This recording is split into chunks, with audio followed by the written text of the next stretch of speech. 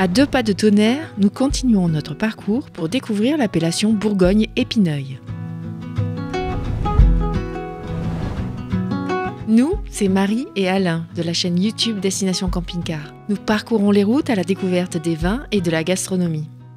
Bienvenue dans notre road trip en Bourgogne. La colline d'Épineuil fait face à la ville de Tonnerre sur la rive droite de l'Armançon, affluent de Lyon.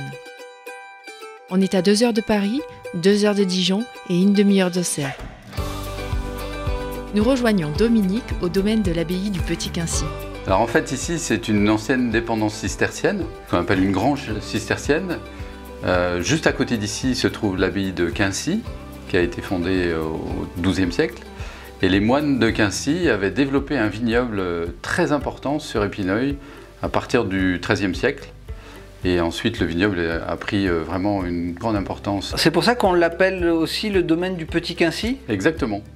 Souvent, les granges viticoles cisterciennes prenaient le diminutif petit devant le nom de l'abbaye. À Chablis, il y a le Petit Pontigny. Et juste à côté, euh, dans Épineuil aussi, il y a un endroit qui s'appelle le Petit Molem, qui était une dépendance de l'abbaye de Molem.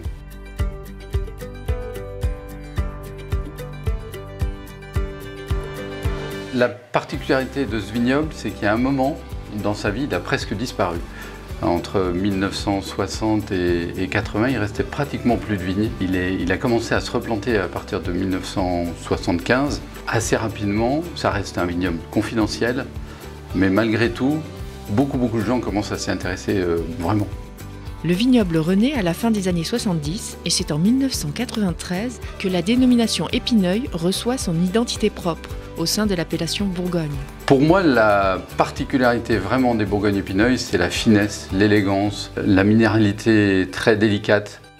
Qualifiés de vins de dentelle, légers aux ailes d'ange, les vins rouges de l'appellation Bourgogne-Épineuil sont issus du cépage Pinot Noir et les rosés des cépages Pinot Noir ou Pinot Gris.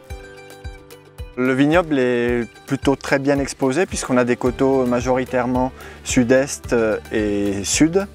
On a quelques orientations au nord-ouest mais qui sont à faible pente. Ça nous donne une maturité qui est assez précoce malgré un microclimat plutôt frais puisqu'on a la rivière Armançon qui passe dans le fond de la vallée. Le vin d'Épineuil a une typicité euh, assez marquée.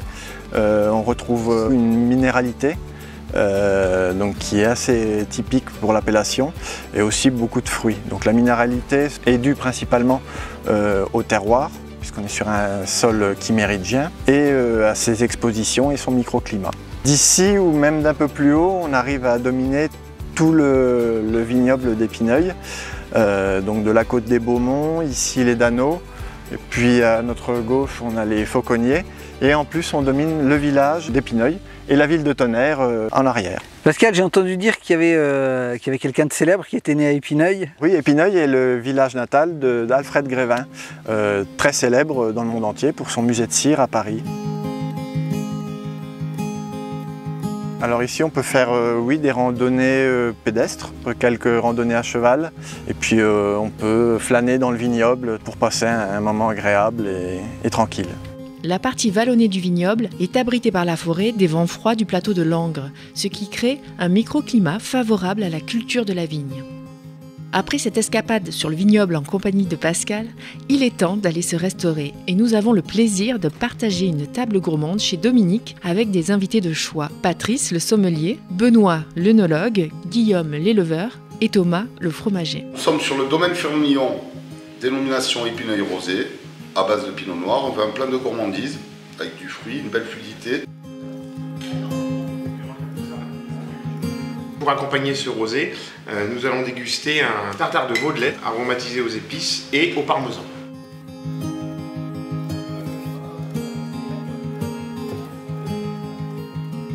Donc là, je déguste un Bourgogne épineuil de chez Vartel. C'est un vin qui va très bien s'accorder avec euh, l'agneau grâce à sa fraîcheur, grâce à son fruit. Avec un Bourgogne épineuil, je préconise de l'époisse, qui est un fromage euh, affiné au marc de Bourgogne, de la région, qui apporte un caractère, un côté sous-bois très agréable. Vous avez aussi les chèvres qui se marient très très bien, donc on a les chèvres de Charolles en Saône-et-Loire ou les chèvres de Lyon. Et puis un petit Saint-Nectaire euh, qui vient euh, apporter un côté terroir qui se marie très très bien. Sur la rive droite de l'Armançon, le village d'Épineuil propose une vue imprenable sur le canal de Bourgogne et la vallée de l'Armançon.